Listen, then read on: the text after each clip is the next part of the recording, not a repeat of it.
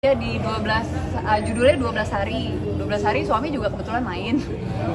Nggak beda ya karena kan memang dia aktor gitu yang saya kenal juga dari awal sebelum nikah pun aktor gitu. Jadi ya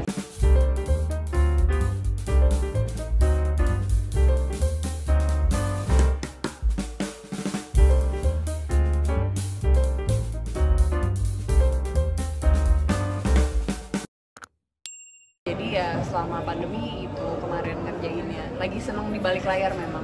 Tapi ini keinginan dari lama, atau gimana sih? Iya sebenarnya emang seneng sebenarnya senengnya di balik layar.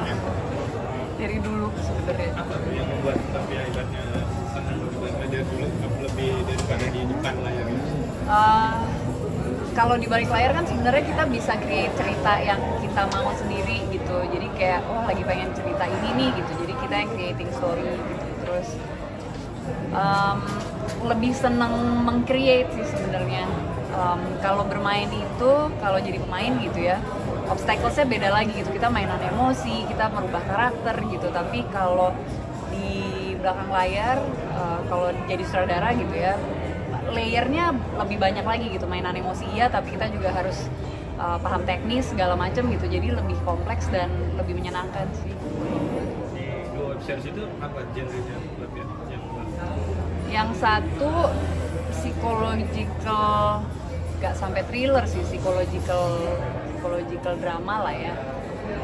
Fantasi juga yang satunya. Yang sekarang yang sekarang tayang drama eh, yang sebentar lagi mau tayang tanggal 30 September untuk di eh, Vision Plus itu drama ada actionnya juga gitu eh, tentang narapidana. Timotnya sendiri lebih suka genre apa lagi ke depannya. Misalnya kita pengen uh, kan lagi ini lebih ke fantasi psikological fantasi gitu sih. Kenapa karena creating gini apa ya eh, fantasi itu kan sesuatu yang yang sebenarnya nggak ada gitu. Tapi yang saya selalu suka tuh dari fantasi kita sambungin ke reality gitu. Jadi ada ada reality yang sebenarnya bukan cerita umum itu yang sebenarnya senang untuk diangkat Pemainnya siapa aja? Kalau yang akan tayang ini ada Hana Malasan, ada eh, ada Ferdi Sulaiman, banyak banget line up-nya ada Mbak eh, Yunik Priscilla, ada eh, pemeran utamanya itu lagi mikirin buat ini Marlina siapa cowoknya Yoga Pratama maaf Yoga Yoga Pratama terus ada eh eh,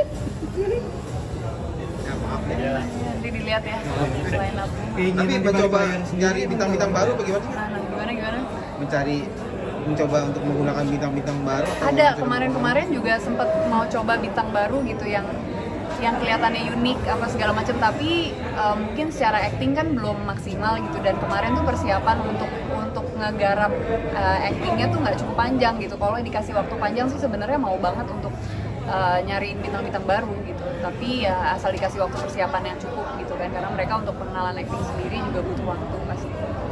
Mereka diajak gak ada yang kan belum secara wah film ini nih bisa di Indonesia pada langsung oke.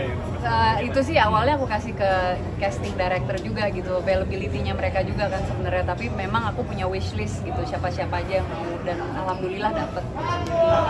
Tapi dukungan suami sendiri seperti apa ini? oh iya di 12 uh, judulnya 12 hari. 12 hari suami juga kebetulan main. Gimana rasanya ke daerah Main. um, nggak beda ya karena kan memang dia aktor gitu. Yang saya kenal juga dari awal sebelum nikah pun aktor gitu. Jadi ya saya memperlakukan dia sebagai aktor. Ada, ada gimana suami ada canggungnya Ya, canggung kan secara di rumah ini kan beda profesional atau gimana? Enggak sih, enggak sih, karena kan memang dia juga besar di panggung gitu ya, dan saya juga sama dunia acting udah cukup dekat gitu, jadi nggak ada canggung-canggungnya sih. Toh kita juga pernah syuting bareng gitu, jadi udah sama-sama. Paham. Mau ngedirect nih di balik layar nih. Eh, suami gimana responnya atau gimana? Atau oke atau mikir dulu eh nanti dulu kita ini atau gimana? Malah mendukung banget oke saya main atau gimana?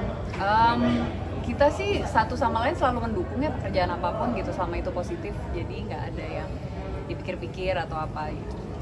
Tapi banyak melakukan